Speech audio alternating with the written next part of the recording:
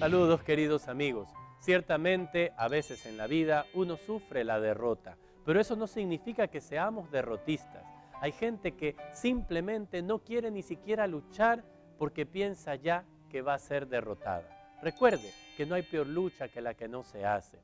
Busquemos siempre avanzar, aunque a veces haya derrotas, pero no seamos nunca derrotistas. Seamos optimistas, confiados y caminemos siempre hacia adelante.